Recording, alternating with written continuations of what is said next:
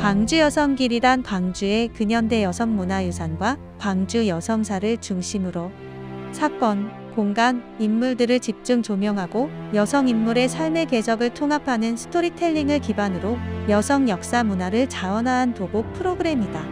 이 길은 두옥길과 백단심길, 홍단심길 등 총 3개 코스로 구성돼 있다.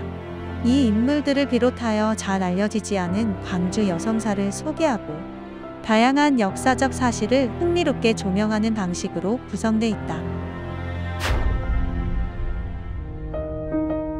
두옥길에서는 광주의 근대 교육, 의료, 문화까지 선교사들의 헌신과 봉사의 삶을 만날 수 있다.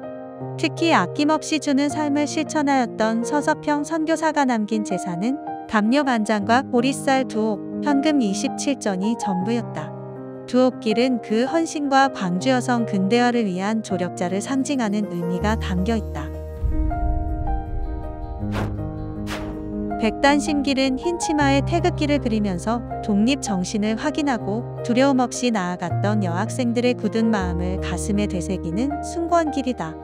우리나라 최초의 여자 국비 유학생 김필레는 일본 유학에서 돌아온 후 1916년부터 교사로서 민족의식 교육을 통한 민족계몽 운동에 적극 헌신하였다. 홍단심길은 불띠붉은 뜻을 품고 독립운동을 했던 광주 여성들을 기억하고 기리는 길이다.